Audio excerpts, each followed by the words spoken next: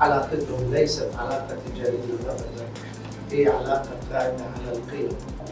استقصائي المفروض. هدفه توفير معلومات حول القضية أصلا المعلومات في هناك سعي لأطراف في إخفاء هاي المعلومات عن المواطنين